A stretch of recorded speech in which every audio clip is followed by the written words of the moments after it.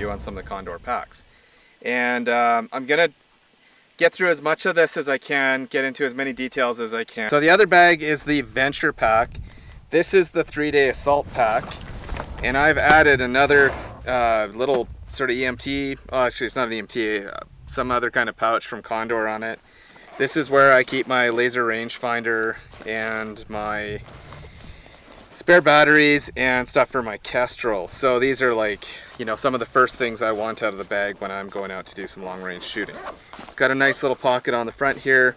I carry my uh, bore sighting stuff in there as well as some AAA batteries. This pack is insane in its capacity for the price point. It has compression straps, which I usually leave undone because unless I'm you know, hiking with it or something like that, and I should actually do up these bottom ones.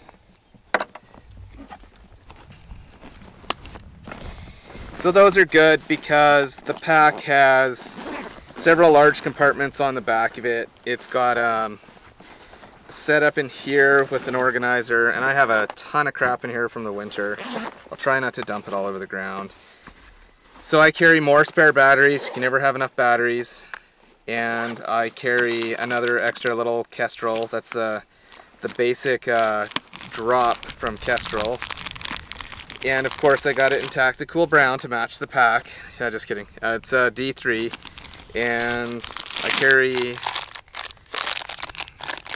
an Otis brand ripcord here. This is a 6.5 in case I have, you know, something happen if I'm, say I was out hunting or something like that and I got something obstructed in the barrel. That's happened to me once back in British Columbia and so having one of these is a life stopper or lifesaver.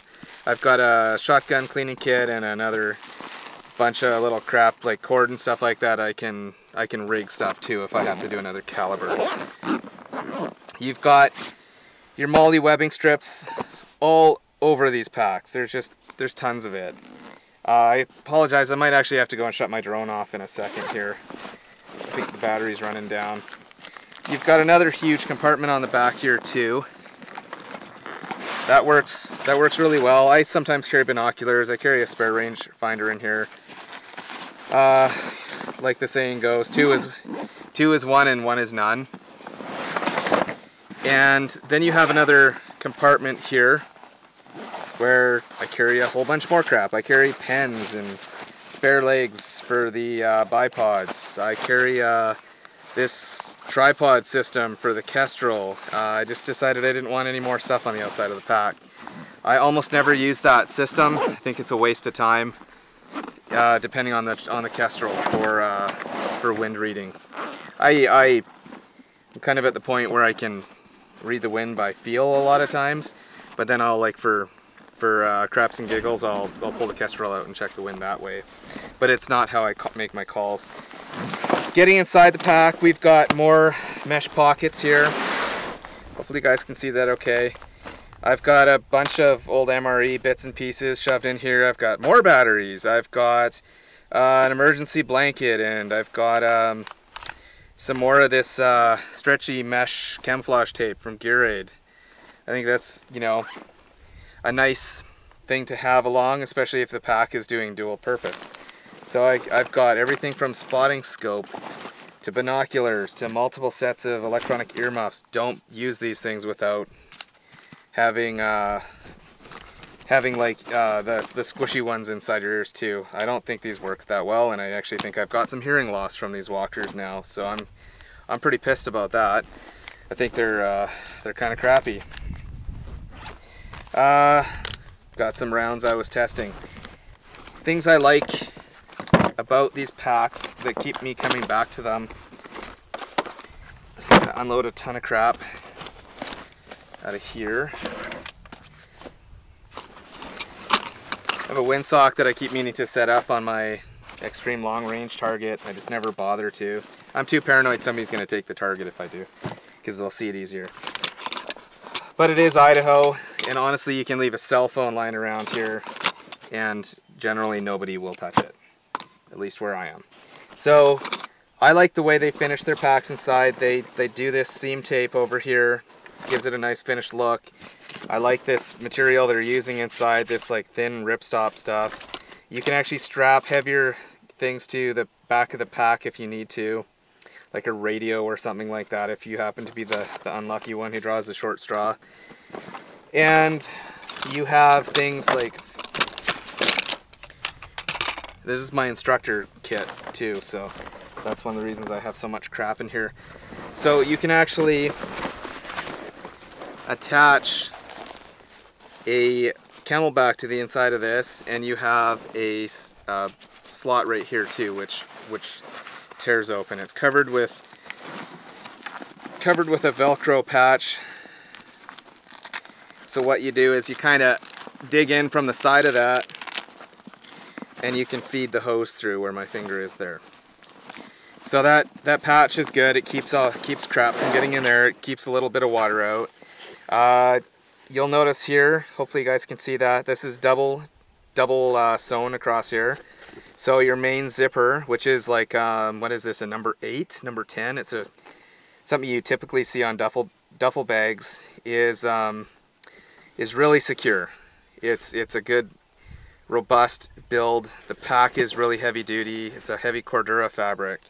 So that's that's the internals and the pockets. Uh, the pack has an, another thing which I've never used. It's another divider. I mean, you could throw a laptop in here if you wanted to use this huge thing for school or something, but I think it's way too tactical looking. But you do have another option of carrying stuff divided and organized in there. You've got two pockets, one on either side. I carry radios.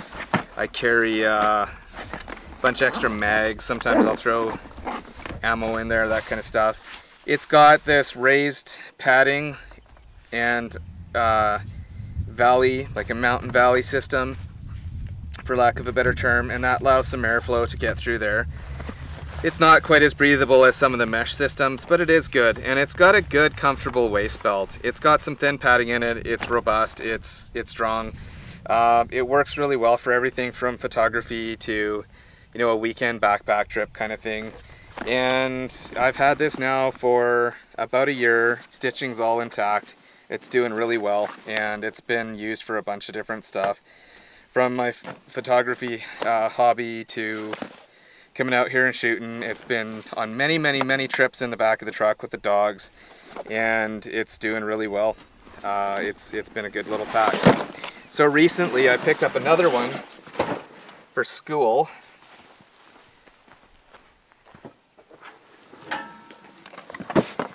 So this is the pack that I got for school. I it's called the Venture Pack and it's also from Condor.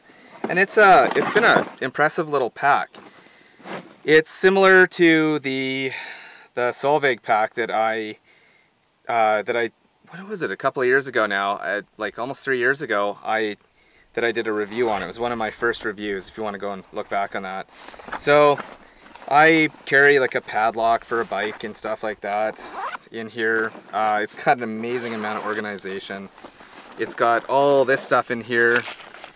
I carry, I've got everything from dog spray to a knife to a flashlight. I mean, you could call this an everyday go kit, but this is actually my school, my school bag now. You've got another pocket in here. You've got a mesh keeper pocket. You've got mesh keep a mesh keeper pocket on the bottom. You've got a radio slot. You've got another little keeper pocket in here too. You just have so many options for organizing this bag. You have a, a system here where you could carry like a bike helmet or whatever. Uh, I think this is a good pocket if you want to carry like uh, a holster. You want to carry like throw your pistol in there and, and have this for an everyday carry pack. I mean, it's a great option for that. I'll just give you an idea. There's my Glock 43 and that's how it fits in there. And because it has this Velcro patch in here, I believe that they intended that to be for a, a holster that would Velcro in there as well. So moving on up the lid, you have another little organizer pocket. I carry a GoPro with me sometimes, uh, catching B-roll footage and stuff. And then you have your main compartment. And this is another one of these awesome uh, compartments actually. So then you have another mesh pocket in here. You have two mesh pockets on the lid, and then you have a laptop sleeve. So I've been riding my bike to school, my motorbike sometimes, and this is actually really, really comfortable to wear. It keeps the weight close to your body, and yet, you know, if I do want to use this pack and I want to go out for a hike or something like that, I'm not worried it's going to tear apart like your typical school bag type thing. You've got a drain hole here, you've got attachment points so you could put something like a sleeping roll or something like that. With my bivy pack or bivy setup with a one pound sleeping bag, one pound thermarest, and one pound uh, bivy bag, easily all of that stuff could fit in there. That whole unit is like this big and I'd have room for food and all sorts of uh, goodies for a camping trip. The pack also has the same sort of like behind the back uh, carry slot here. And what this is actually intended for on this one is so that you can throw a CamelBak in here. So you have an insulated pack or pad on the front of it here and it's insulated here so it's going to keep your water cold. You could carry a three liter in here if you really wanted to. And then it has the same velcro type opening on the top where you can feed the hose through. You've got your loops to carry to lock your CamelBak bag in there. I keep saying CamelBak, but really any water bladder. I'm just old school. I actually had one of the original CamelBaks, so I'm dating myself. So that's the two packs that I'm using right now. There's nothing wrong with that zipper, it just ships like that. Uh, they've been really impressive. My Solveig pack, like I mentioned at the, the beginning, this it, it opens like this too. It was too small for what I was doing. It's about 50% smaller, or a third smaller than this pack is. Um, so it's about this tall and it's a little narrower, not as deep. What I did by accident was I pulled the zipper and pulled the zipper, I pulled the actual keeper apart and opened it. And I don't know, I wasn't listening to my gut. I was just being kind of dumb and I was in a rush. So I wrecked it that way. What I ended up doing was I got a zipper repair kit from Gear Aid out of Bellingham and I fixed the zipper and now my son's using that pack. Uh, that's his emergency go bag kind of thing. I prefer this pack over the Solveig now just because of the size. I like the attached the attached uh, back panel here like this slot type thing that's actually kind of handy and there's sometimes where you just want to have like an extra jacket or something easy to get at. If somebody's hiking behind you, they can just reach in, grab it, that kind of thing. And I like the hidden carry pocket in here as well. And it's something that not nobody's gonna notice. Expect that your pack's gonna last a very, very long time. Like I said, my Condor Sol Solveig, it was getting out, taken out two or three times a week. And it just, a lot of times just thrown around in the truck and stuff. And with as loaded as it was, it was, it was a little, I'd say I pushed the pack pretty good. It's still going at three years. It's had the one repair and so I gotta say I would still go back and buy that pack again. I think they have a new Solveig pack out which looks really good too and I believe they permanently attached the back panel like they did on this Venture pack. So I hope you, you Canadian uh, followers noticed I still got my Canadian patch on there. I'm still can Canadian. I, I love Canada. I love the US. I think they're both amazing countries. I'm, I'm sad to see how Canada has gone with this current uh, dictatorship that's that's running the country right now. I feel bad for you guys. I hope that you know we can get the message out there that Canada deserves better.